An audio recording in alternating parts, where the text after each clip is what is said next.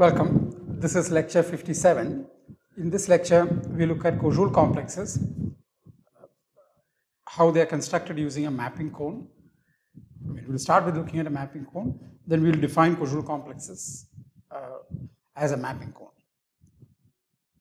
Okay, so uh, what we will quickly review what we how we define complexes, and then we will now uh, define maps between complexes and then we will talk about mapping cones and then so that's the plan for this lecture okay. so recall that a complex of r modules is a sequence of r modules and r module homomorphisms so m dot okay so it's a sequence uh, which goes you know, m0 then m1 maps to m0 m2 maps to m1 okay. and sometimes we will have to refer to the maps so we will just label them so, uh, so and why is it a complex? So uh, that image of mu i, so the map from mi to mi minus 1, its image is in the kernel of the next map, kernel of mu i minus 1.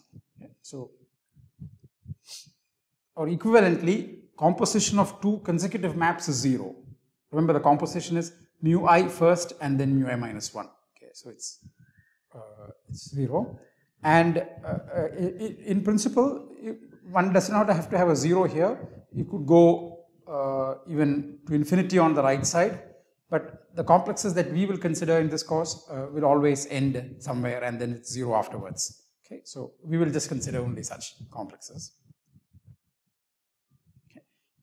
The homology of a complex is the ith homology hi uh, is the kernel of uh, mu i, which is the map going from mi, modulo the image of the uh, previous map mu i plus 1.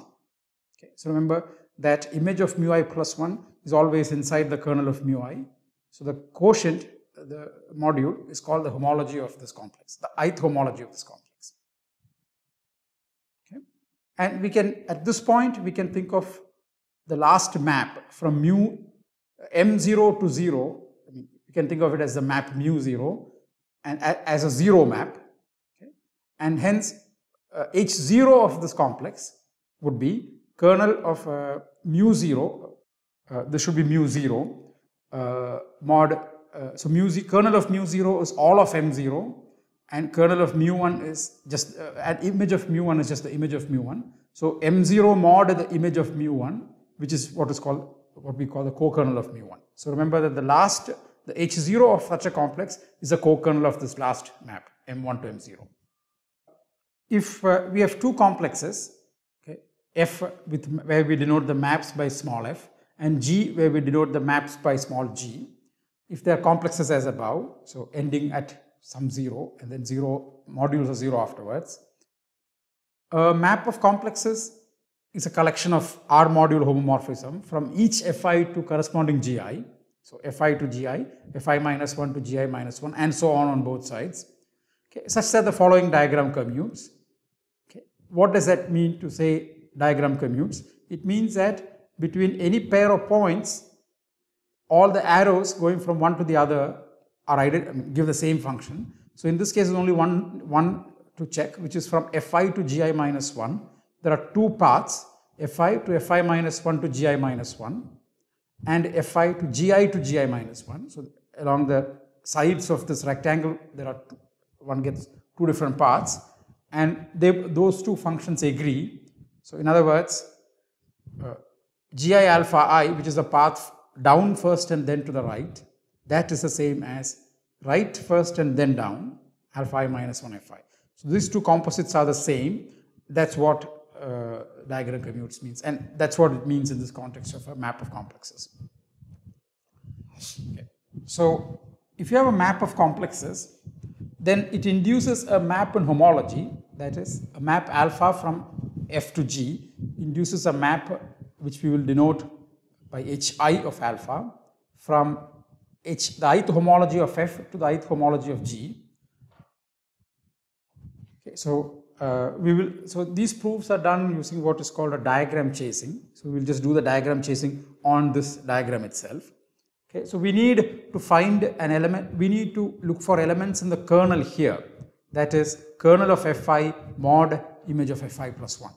Okay. And we need to get them to an element in kernel of Gi mod image of Gi plus 1. So, from the kernel in the top row at Fi to the, to the homology of the bottom row uh, that is inside Gi. So, we will do this by doing what is called a diagram chasing. So, let us pick an A in kernel of Fi. Okay. Remember elements of homology are kernel mod image. So, they are represented by the residue classes of elements of the kernel going modulo images of the previous image, uh, the submodule image of the previous map. So, we will just take an element in the kernel. Okay. So, kernel of Fi, so it is in kernel, so it just means that A goes to the 0. So, the, the things that I mark in red are the elements that we pick and S, we will see how the elements progress in this diagram chase. Okay. So, A goes to 0, that is what we have written Fi of A is 0. Now, define B to be the image of A under alpha i. Okay. Now, because the diagram commutes, B must go to 0 in Gi minus 1. So, start from A, it goes to, I mean, chose A inside F, we chose A inside F kernel of Fi. So, it went to 0 here and then came to 0 here. So, along top and right, we have, we get 0 inside this Gi minus 1. Therefore, on the um, uh, bottom, I mean left and bottom also one should get this. So, Bi must be in the kernel of uh, kernel of Gi. B must be in the kernel of Gi. Okay. So, in other words, what we just observe is that alpha i maps the kernel of Fi inside the kernel of Gi. Okay. So, we can think of this as a map alpha i restricted to kernel of Fi. Okay. Now, let us let's check what happens under this map to image of Fi minus 1. Okay. Remember that image of Fi minus 1 is inside the kernel of Fi. Okay. So, under this map, what, what would happen to F image of Fi minus 1? Okay. So, now let's take, let now let's assume that A is in the image of the previous map. Okay. So, in other words, A is Fi plus 1 of some A1 So okay, this A is the image of this A1.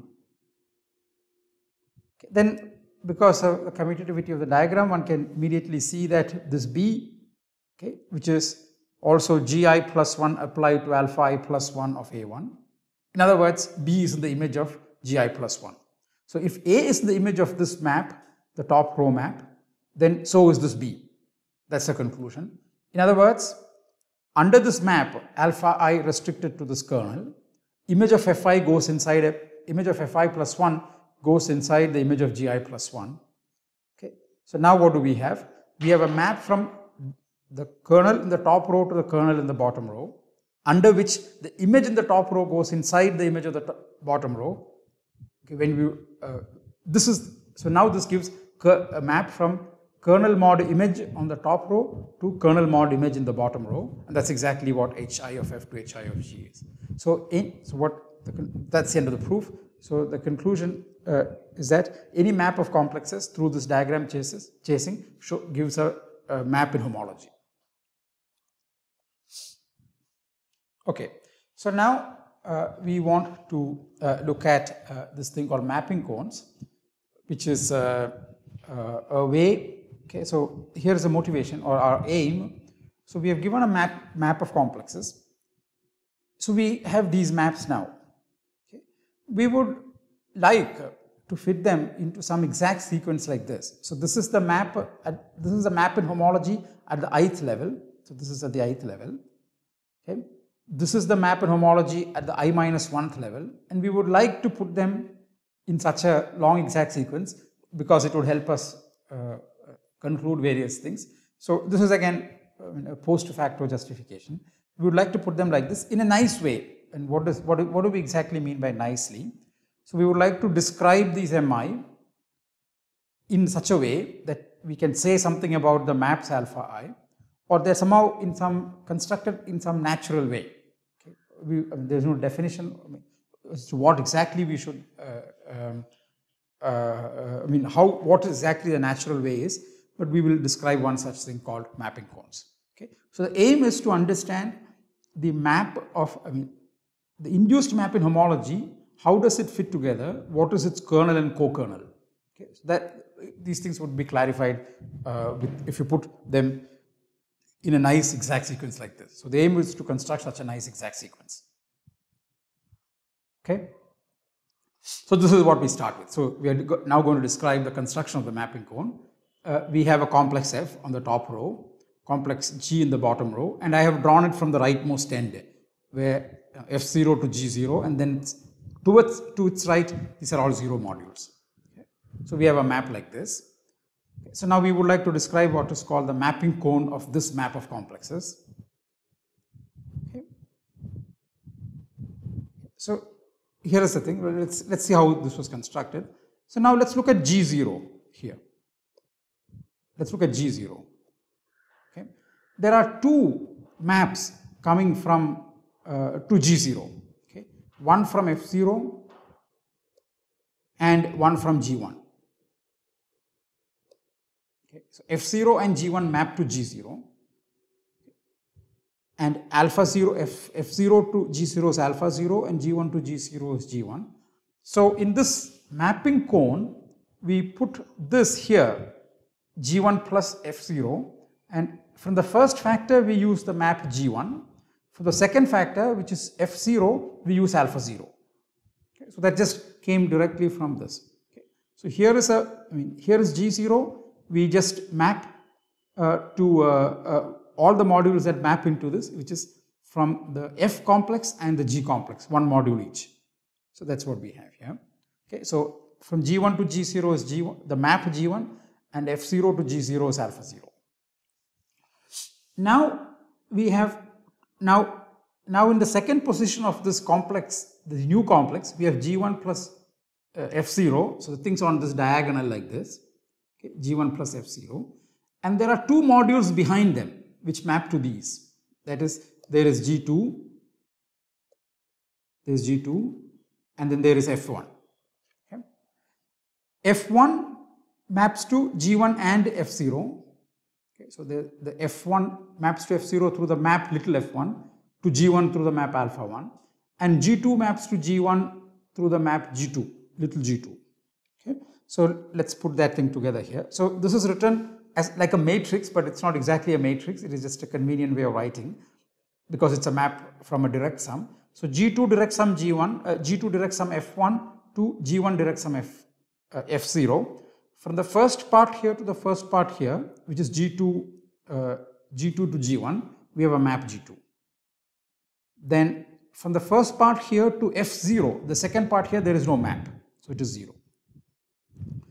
From F1 which is the second part here, to the first summand, which is G1, there is a map alpha 1. So we have this. And uh, from F1 to F0, there is a map uh, little f1, but we just put a minus sign and we'll see why this is needed. Okay, so we'll okay, so we just put a minus. Only thing you keep in mind is that there's a minus sign there. Okay. Similarly, from uh, we have G2 direct sum f1 the map would be from G3 direct sum F2 and from G3 direct sum F2, G3 to G2 there is a G3 map, G3 to F1 there is no map, F2 to G2 there is an alpha 2 and F2 to F1 we put a F, we have a map F2 but uh, we, we use that with a minus sign. Okay. So now we have a, I mean we have this and the point is that, so this I just copied it. This is the same complex that we just described in the previous page. The point is that this is a complex. Why? So let's check this. So which means we should check that this map here, this map, uh, this map here, uh, the square, uh, the two, I mean the G2 to G, G2 direct sum F1 to G1 direct sum F0. This map here to the next map, the composite should be 0. So remember, the maps are applied in the opposite order. This is the one that's applied first and then this 2 by 1, uh, sorry, this 1 by 2 looking matrix. So this is the composition and one can immediately check that because of the because the diagram commutes g1 alpha 1 equals alpha 0 f1 and because we introduced a minus sign they cancel each other and we get zero map and similarly here also okay the the diagram commutes. So G2 alpha 2 equals alpha 1 F2, but we introduced a minus sign precisely to cancel this. And so we get 0 in this, this part. And G2, G3 is anyway 0 because it's a com complex, and F1, F2 is also 0 because it's a complex, and so on to the left. Okay. So except at this, at the rightmost place where uh, you know you one has to multiply a matrix like this. Rest of it is all like these two by these are not matrices, but you know, two fact two summands on both from each one of those complexes. So we get this. So this is a complex. Okay, so now we will need to work with this complex a little bit uh, we will write delta i for these maps. So delta, so this is G0 here, this is, uh, uh, this is C0, this thing here is C1, G2 direct sum F1, F1 is uh, C2. So the index of G, the subscript for G is the one which describes the subscript for C. Okay, so this is how. So, so the map uh, we describe as uh, delta i. So now what we have constructed, I mean, from what we have constructed, we have what is called a short exact sequence of complexes. Okay, so I, I won't define it, I mean, I will just describe, I'll describe these things in this context, but we will do an exercise which describes it in, uh, in full generality. Okay, okay. So what is that? What exactly do we mean? Okay. What, actually, what are these maps? First of all, the vertical maps the G, the vertical maps little g and vertical maps fi and here minus fi, they were given to us. These delta i's were constructed as, uh, uh, I mean, in the previous pages. Okay. So the, now we are to describe the horizontal maps. The, this is the inclusion in the first summand. Okay. Remember, gi sits, ci is gi direct sum fi minus 1 so the, the inclusion from GI to CI is the inclusion as the first summand and CI to Fi minus 1 is the projection to the second summand. Okay, so therefore the rows are exact. Okay, so that's what here we mean. So this is important, rows are exact and all the squares in these commute. Okay, that's because, okay, in other words, way of saying is that, okay, we'll see it in a minute. I mean, rows commute one can check explicitly uh, because the first factor, if you go here and apply delta, it is the same thing as applying g because nothing happens to the second.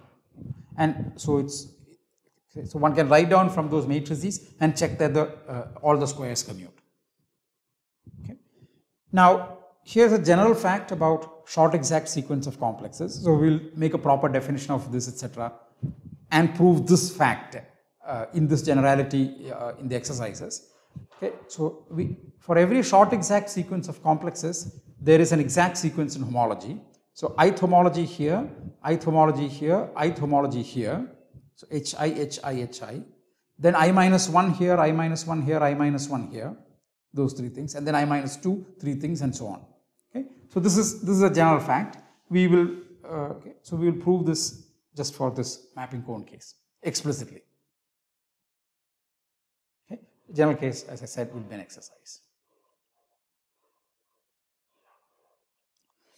Okay, uh, so the, small, the squares here commute says that if you look at the vertical uh, vertical arrows, the collection form, form the complex G, and the middle arrows here, uh, vertical things form the complex C, and the arrows commute is the same thing as saying the left from the complex G to the complex C is a map of complexes.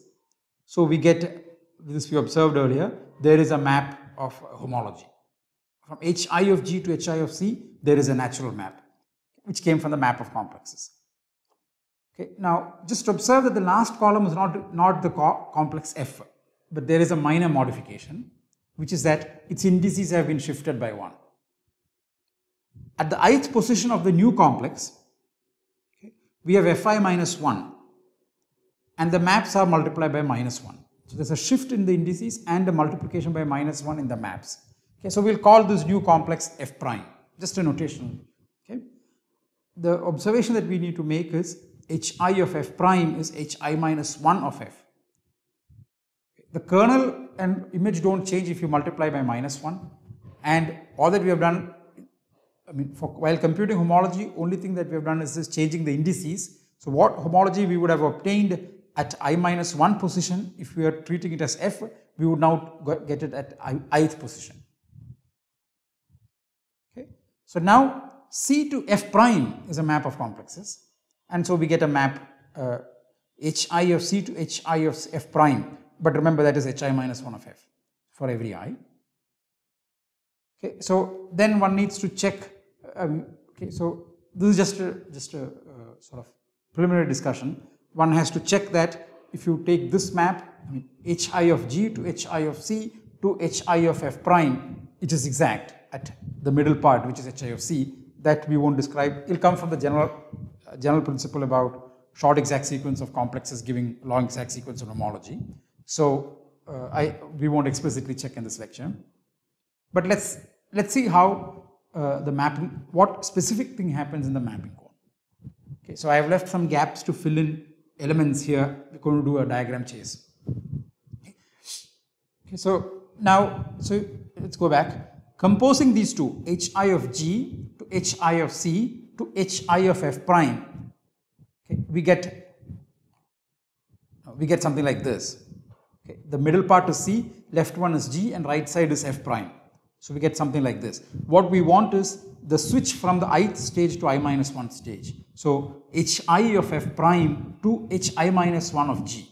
So it is this map that uh, it is this map here that we are trying to construct uh, in the uh, what we will describe now. Okay. So yeah. So we need something to go from this homology here. Remember this fi is f prime of i minus 1 sorry, f prime of i plus 1. Uh, so from this point to this, I mean the, the homology of the rightmost complex at this point, at this point, to the homology of the leftmost complex at this point. Okay, that's what we will need to construct. Okay, so let's uh, let's take a B. So we'll do a diagram chase like uh, earlier. So we'll take a, let's take a B, which is the kernel of Fi. Kernel of Fi, same thing as kernel of minus Fi. So this B here goes to zero. Now lift it to any a comma b. So remember ci plus ci plus 1 is the direct sum of these two things. So lift it to any a, a comma a plus b, uh, a comma b, where a is from gi plus 1 and b is whatever. So it doesn't matter what a is. Lift it here. Let's apply delta. Let's let's come down to this map. Well, if you come down to this map, g gets applied to a because a came from this alpha gets applied uh, to B because alpha came from here, uh, B came from here, okay. and then for the second summand, uh, I mean the second component, F gets applied to B. Okay, so what we have is Gi plus 1 applied to A plus alpha i applied to B. So I have just, in this thing I have just to conserve some space, I have just called it Ga plus alpha B. But usually after a while, keeping track of these indices, unless there's a pressing need for it, one doesn't, I mean, one understands that this is after applying the correct G in the correct degree. Okay. So this is uh, GA plus C. So we get an element here. And remember that the map from, I mean, in the second factor, the map is B going to F of B, but B is in the kernel of F, so it is 0. Okay, so one has this. Okay. In other words, this element here came from GI. Okay, so this is the element that we, okay. So from here, we, we lift it arbitrarily, then we applied this map, and then we got an element inside, inside G. Okay.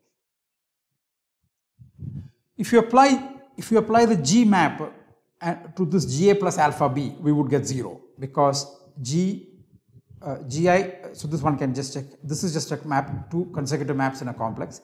And for this factor, one has to use that the diagram commutes. Gi of alpha, Gi alpha i f, uh, Gi alpha i b is some alpha fb, but fb is 0, so uh, one gets 0 here. So in other words, what, what we have is, we have a well-defined map from the kernel of fi to the homology at gi, not to the kernel because the, the actual map depends on the choice of A. Okay, so there is no well-defined map from kernel of Fi to kernel of Gi.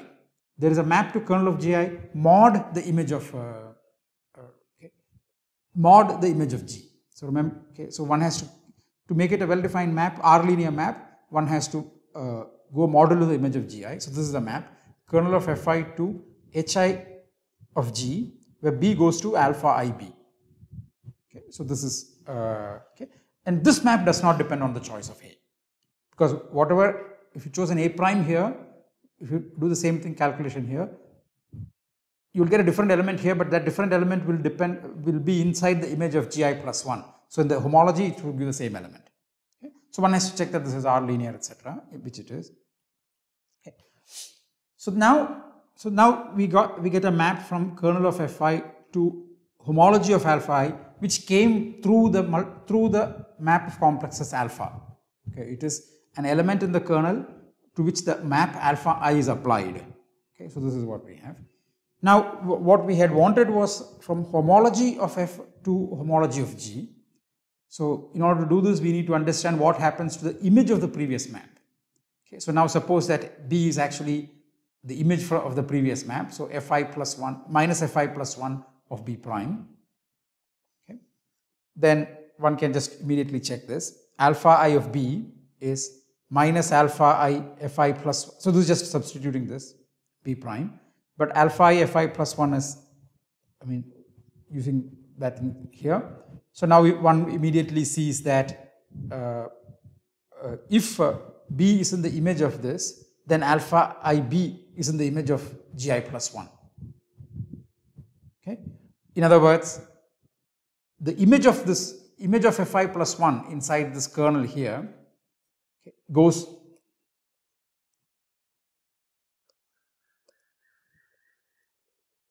image of Fi plus 1 inside the kernel here goes to the image of this thing. So inside the homology it is 0. So hence we get a map from hi of f to hi of g given by alpha. Remember this is how the mapping homology was defined. Kernel goes to z. I mean, if you have an element b in the kernel, we discuss we the map takes the class of b to the class of alpha ib, and that's exactly what this map does. And now, uh, so with this we have uh, established, so let's just summarize. Given alpha map of complexes, we have an exact sequence. Okay, so let's just make sure we get this thing. So this is uh, Fi, homology here is Hi, Hi of F, homology here is Hi of G. So the map that we have constructed is from here to here. Okay, and then we have this. So Hi plus 1 of C to Hi of F to Hi of G to Hi of C and then so on. Okay. So this is uh, how this thing comes. Now we come to this point of defining Koszul complexes. Uh, so we have a ring and some T elements in R. The Koszul complex on F1, a single element, is the complex in which we put this at the first position and this at the zeroth position, multiplication by F1. Inductively, let's assume that up to uh, uh, for i elements we have defined it. Okay, now multiplication by f i plus 1 gives a map of complexes, just, just a map of complexes. And the Koszul complex on f1 through fi plus 1 is a mapping cone of the above map of complexes. Okay, so, uh, so if there are two, and we will see in Macaulay how these things are constructed. So now we define a map from rank 1 R module to rank 1 R module multiplication by x and we ask is homogeneous 0 0 and it says it's false okay. and the reason is both gen generators in both these modules basis elements have degree 0 and hence multiplication by x won't preserve degree. It's just saying it's not a homogeneous map. So we can make it homogeneous by giving uh, degrees like this. So this is a free module of uh, rank 1 free module where a basis element has degree uh, where a basis element has degree 0 this is basic, this is R minus 1. So basic, uh, uh, there is a basis in which the element has degree, generator has degree 1 okay, and multiplication by x now preserves degree. Okay. Yeah, so let's just ask, uh, uh what these things are. R0 just R module free. R minus 1 is R module free. Degrees is 1. The generator degree is 1. We ask Macaulay to construct the Koszul complex. So Koszul complex is asked for a map. So uh, Koszul of phi of, phi of x was that multiplication by x. So we call it kx. Okay. Then we ask, so this one, these three commands will tell you uh, the zeroth uh, element in the complex, the first element, the, the module in the complex, and the differentials in the complex, the maps in the complex.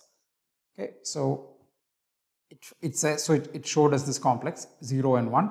It says the chain complex. First module, I mean, zeroth module is, zeroth module here is R1, free. Second module is R1 free, but the generated degree is 1. Okay, and if you ask for its map, it says this is the map. Okay, so now we define similarly phi y okay, and we ask for Koszul, we can ask for the Koszul complex. Okay. So now mapping cones. So now we need to, uh, to shift, we need uh, multiplication by y to be homogeneous. Okay.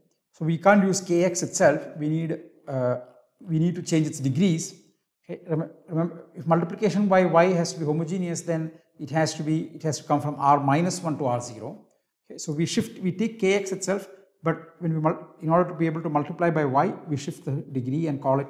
So the star star r minus 1, okay, it has a correct interpretation in terms of tensor products, but for us, we will just treat it as shifting degrees. Okay, so now uh, we get, so we ask for kx1. So the first the zeroth module now is in degree 1 and the first module is in degree 2. Generator is in degree 2 and the map is still multiplication by. And as I said, for us kx star star uh, r to the minus 1 is just a way to change the degrees of the basis element. Okay, correct. In, uh, yeah, so just one more. The one here that precedes x says that the target has degree 1, so the source has degree 2. Okay, Uh, so that's just, I'm just saying. Now let's try, so now this extend is a function which tries to extend uh, a map, a matrix as a map of complexes. So we want a map from kx1 to kx multiplication by y. That's what this one does. Okay, and we ask, so now it's a map of complexes. In both factors, it's multiplication by y. Okay, and then we ask Macaulay to construct its cone, and we call the cone kxy. Okay, so if you ask for kxy, now it's cone two elements and you know, one can inductively prove that the, the matrices in the I mean the modules in the Koszul complex are free modules. Zeroth module is just zero. First module is two copies. Remember, it's in the it's on the diagonal. There are two elements, and after that, both complexes end. So there's only one in the next stage. Okay, and so here it is degree zero. The uh, first module is 2 colon 1, which means two, cop, I mean, two generators of degree 1. And the second one, the final one is degree 2. Okay. So that's those, those are the commands. And then we ask for the maps, and these are the maps. Okay. So when we work out the chain complex maps using the mapping cone, one can see that these are the maps. We can ask, uh, so we here we also ask for homology, and prune is to minimize the number of generators. And okay. so when you ask for homology, uh, it said it's a co-kernel of xy. The middle one, it said it's a subquotient of this. Okay, so in other words, it's the uh, it's a submodule generated by this modulo the image of this one. And okay, and when we ask for it to prune, uh, this this the, the first homology is zero. Okay, so one gets only one element. And let's just quickly look at it for three elements. Okay, so now we do the same thing. We take the complex kxy and then shift its degrees by 1. Okay, so all that we have done is just shift its degrees. Okay, now take, so the new complex was called kxy1. So get a map from kxy1 to kxy multiplication by z, then ask for its cone, okay, and look at its, uh, look, so this is the, uh, this is the extension. So this is shifted and everywhere it's multiplication by z. Okay, so here there are two factors, so it's a 2 by 2 matrix. Okay, and then we ask for its cone, so we get something like this with 1, 3, 3, 1. And we ask for its maps this is what we get. If you did this by hand, we would get, I mean, depending on the sign conventions, we might get a slightly different, with different signs, but it would be uh, isomorphic to this. Okay.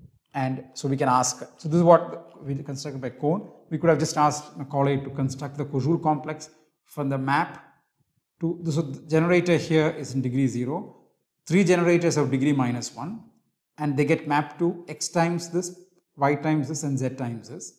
Okay. Ask, we ask for its Koszul complex. We ask for its chain complex. So this, this sign, uh, I mean, it's a convention of how one is taking the tensor product. So this matrix is almost the same as this matrix, except for some changes in sign. Okay. But that's okay. And then finally, uh, one gets this. Yeah, that's the end of this lecture.